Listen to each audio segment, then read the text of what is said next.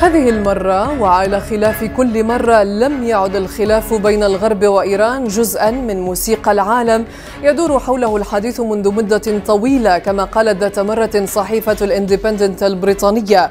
الحرب الكلامية والتصريحات النارية من الجانبين وصلت ذروتها وباتت منطقة الخليج والشرق الأوسط تنتظر بين الفينة والأخرى نهاية اللعبة. المنعرج الخطير في هذه الأزمة لم يؤشر له تهديد إيران بغلق مضيق هرمز حيث يعبر 35% من النفط العالمي المنقول بحرا فحسب ولا المناورات العسكرية التي أجرتها إيران على مسمع ومرأى من جيرانها القريبين والبعيدين على حد سواء. وامتدت لتصل إلى مدخل البحر الأحمر في خليج عدن وإلى خليج عمان. قد يكون وزير الخارجية الروسي سيرجي لافروف الأبلغ في تشخيص حدة الأزمة عندما قال إن فرض عقوبات إضافية ضد إيران ليس له أي علاقة بضمان التزام إيران بوقف الانتشار النووي بل يهدف بشكل كبير إلى خنق الاقتصاد وإرادة الشعب وربما إثارة حالة من الاستياء الشعبي. قد تكون إيران فهمت أن الحرب ضدها قد انطلقت فعلا. وفي شكل خفي وأن المعادلة الجديدة في الأزمة هو خنق إيران اقتصاديا من أجل الإجهاز على طموحاتها النووية. من هذا المنظار رأى علي أكبر صالحي وزير الخارجية الإيراني تصريحات وزير النفط السعودي حول استعداد المملكة لرفع إنتاجها من النفط على أنها إشارات ليست ودية. خلف جدار التوتر بين إيران والغرب تتفاعل أيضا ملفات مفخخة منها الخيار الإسرائيلي بضرب المنشآت النووية الإيرانية. كذلك أمن الخليج وأمن الاقتصاد العالمي وتغيير النظام في سوريا. نقاشنا يبدأ الآن.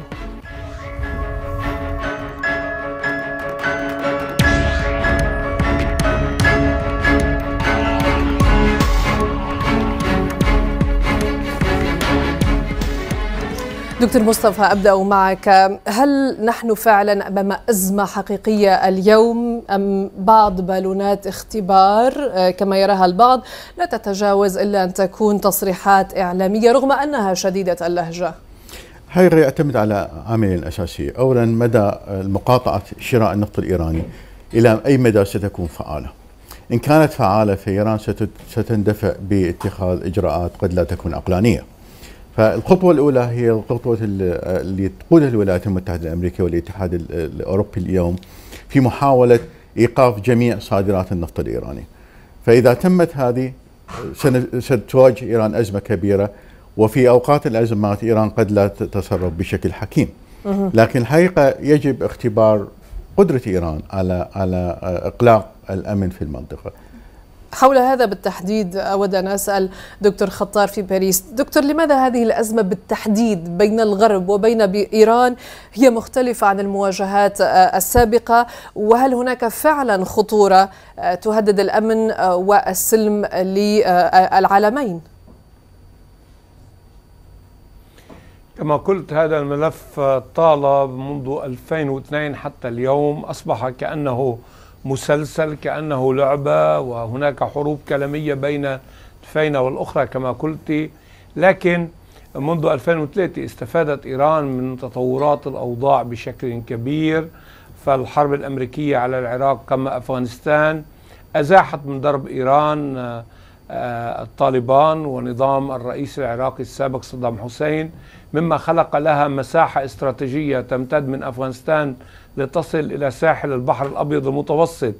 وإبان كل هذا الوقت زادت إيران من قدراتها البالستية والعسكرية وهي الآن بصدد السيطرة على ما يسمى دورة الوقود النووي أي أنه إذا أصدر المرشد قرارا بتصنيع القنبلة النووية مع التطور التقني والتكنولوجي والتخصيب الموجود الآن في طهران يمكن خلال أشهر الوصول إلى ذلك. من هنا جرى التصعيد جرى التصعيد عبر عقوبات اقتصادية أكثر إيلاما ولكن أتى الرد من طهران بأن أي حظر للنفط يعني إجراء حربي ضد إيران.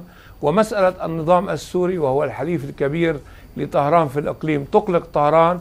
من هنا كانت ردود الفعل حول مضيق هرمز وهي أما أن تكون مقدمة للتفاوض كما رأينا في رحلات علي صالحي وكذلك علي لارجاني إلى أنقرة. تفاوض هل يكون جدي أو غير جدي؟ نعم. هل يكون هذا اختبار قوة جديد؟ تعودنا حتى الآن الوصول إلى هافة الهاوية في هذا الملف دون الانجرار أبعد من ذلك. طيب آه، نقطة مهمة آه، كنت تحدثت عنها دكتور خطار وأود أن أحملها إلى دكتور محمد عباس في القاهرة. دكتور هل آه، باتت إيران بحسب كل التحاليل وبرأيك قادرة على إنتاج قنبلة نووية وهو بالتحديد ما جعل الولايات المتحدة الأمريكية والاتحاد الأوروبي الآن جعلهم يسارعون إلى خنق إيران اقتصاديا لخنق طموحاتها النووية؟ لا أعتقد أن إيران وصلت إلى يعني أو أصبحت قريبة من امتلاك القنبلة النووية. آه، أنا أتصور أن المقاربة الأكثر ملائمة لهذا الوضع هي أن إيران تريد أن تمتلك القدرة على امتلاك القنبلة وبالتالي عندما تريد سياسيا أن أن تمتلك القنبلة فتمتلك القنبلة. يعني هدف إيران هي أن تمتلك القدرة وليس امتلاك القنبلة في حد ذاتها. أنا أتصور أنه لا يمكن الإجابة بنعم أو لا على فكرة أن إيران يمكن أن تمتلك القنبلة قريبا. أنا أقول أن هناك مؤشرات تشير إلى أن إيران تحاول فعلا امتلاك أو القدرة على امتلاك القنبلة النووية آه، خاصة بتهديداتها الصاخبة بمحو دول مثل إسرائيل بتدمير مصالح أمريكية في الخليج وغيرها. وعدم التعاون بشكل أكثر شفافية مع آه، مطالب المجتمع الدولي والوكالة الدولية للطاقة الذرية. أيضا إخفاء بعض المنشآت مثل منشاه فردو. إيران آه، أعلنت عنها في في عامين الماضيين بعد أن علمت أن أجهزة استخبارات غربية كشفت الموقع.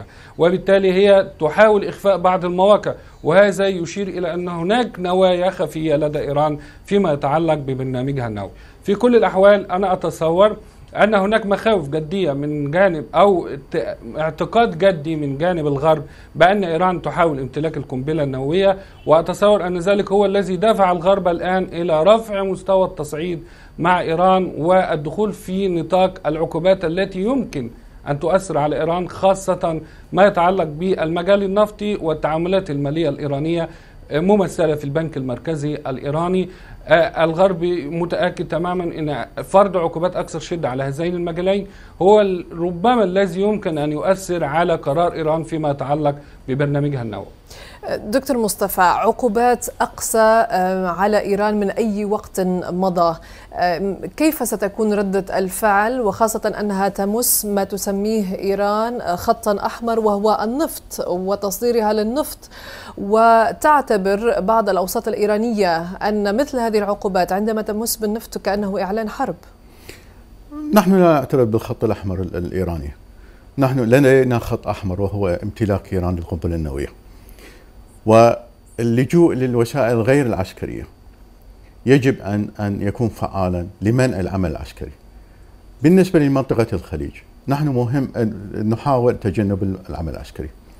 لهذا السبب إنه الوسائل غير العسكرية الضغوط الدبلوماسية المالية الاقتصادية. لم تنفع لعقود آه، هذه المحاولات الدبلوماسية والسياسية مع إيران آه، وبالتالي هل وصلت ربما إيران إلى الحافة إلى آه، ربما مرحلة لا يمكن أن تتعامل بها مع منطق ومع كل المجريات الآن في المنطقة؟ الفترة التي مضت آه، كانت أنا شاركت في عدة محادثات في هذا المجال. كان على أمل أنه إيران تتوقف اختياريا أو تسمع أو توقع البروتوكول الإضافي ليسمح في عمليات التفتيش بشكل حرية. الأمل فقد الآن بشكل كامل. آه، مجموعة متطرفة تحكم إيران الآن وهناك تصميم كامل على امتلاك القدرات النووية. بغض النظر أن إيران امتلكت قدرة نووية بالنسبة لمنطقة الخليج لا يوجد فرق أنه هناك قنبلة موجودة على على على آه، موجودة في في في آه، آه، حاضرة للاستخدام أو قنبلة مجزأة ويمكن تصنيعها. فبالنسبة لنا لا يوجد فرق بين امتلاك إيران للقدرات النووية أو امتلاك إيران للقنبلة النووية. الموقف الخليجي موقف واضح إنه إنه إذا كنا صادقين في تجنب الاختيار العسكري. إن كان أمريكي إن كان عسكري إن كان مشترك باي بأي صفة يجب الضغط على إيران اقتصاديا. هذه الوسيلة الوحيدة بعد التجارب العديدة نعم. ظهر أن الوسيلة الوحيدة للضغط على إيران هي إيقاف آه، إيرادات النفط. طيب آه، دكتور خطار ما هي ردة الفعل المتوقعة لكل هذه العقوبات الأخيرة؟ هل تتوقع أن هذه المرة بالتحديد ستعطي أكلها من وجهة النظر الغربية طبعاً؟ آه، اولا آه، وافق الدكتور العاني على مسألة الوضع الداخلي الإيراني لكن من مقاربة أخرى. الآن نحن أمام مزايدات أيضا على أبواب الانتخابات التشريعية التي ستجري في إيران. فإذا نجح ربما التيار الأكثر اعتدالا بين المحافظين بقيادة علي لاريجاني يمكن وهو الذي كان الأمين العام لمجلس الأمن القومي يمكن أن يعود للتفاوض بصورة أخرى آه، علها تقنع الغرب بنوايا أخرى للجمهورية الإسلامية، لكن حتى الآن آه، حسب فهمي للمجريات هناك فريق ضمن الحرس الثوري يقول بالمعركة الاستباقية ويحاول أن يوتر الأوضاع داخل الخليج كما حصل مع القوارب التي اقتربت من السفن الأمريكية وهذا أي حادث عرضي من هذا النوع يشكل الخطر الكبير أي بعض المرات الحرب بالصدفة أكثر خطرا من الحرب المتعمدة. من ناحية أخرى آه، ما بين المرشد آه، وبين الرئيس أحمد نيجاد وبين كل هذه الأطراف والحرس الثوري هناك اذا ليس هناك فعلا وحدة في الموقف كاملة حيال الإجراءات التي يجب أن تتخذ. ولذا آه، هناك مزايدة يمكن أن تشوش أو تجعل الموقف الإيراني أكثر ضبابية ويمكن لإيران أن تذهب بعيدا عبر ردود أفعال ليس بالضرورة داخل الخليج ربما آه، في العراق ربما على الجبهة السورية اللبنانية. علينا أن نتوقع كل ذلك في فترة صعبة. نعم. آه، بيد أن القوى الأخرى ترى أن هذه العقوبات يمكن أن يكون لها مفعول إيجابي في حال انعكس ذلك على الوضع داخل إيران وأصبح هناك للبراغماتيكيين أو للمرنين للواقعيين صوت أقوى يمنع الوصول إلى الصدام. طيب دكتور محمد عباس ضغوط كبيرة على إيران تزايدت في خاصة الأسابيع الأخيرة تعتبر قاسمة وخانقة بالنسبة للاقتصاد الإيراني عقوبات طبعا اقتصادية آه، ودبلوماسية اغتيال لعلماء الذرة في إيران وانتخابات بعد أشهر هل كل هذا يؤدي إلى التآكل آه، الداخلي الإيراني برأيك؟ بالطبع أنا أعتقد ذلك. يعني الحرب يعني حسب ما قالت بعض وسائل الاعلام البريطانية الحرب بدأت ضد إيران. يعني آه، هناك آه، آه، عمليات اغتيال لعلماء النوويين الإيرانيين والعملية التي طالت الدكتور روشين كانت هي الرابعة من نوعها خلال عامين وكانت هناك عملية خميسة فشلت. لكن أنها تقدم مؤشر على أن هناك طرف يريد أن يتم تخريب المنشآت النووية والبرنامج النووي الإيراني. أيضا العقوبات التي مفروضة على إيران تصعيد مستوى رفع مستوى العقوبات على إيران معناه أنه آه، هناك توجه نحو إضعاف إيران وبالتالي آه، تسوية أزمة الملف النووي في المستقبل. أيضا آه، انتشار فيروس تاكسينيت داخل البرنامج النووي الإيراني الذي أدى إلى تدمير أكثر من ألف جهاز طرد مركزي داخل منشأة ناتنز.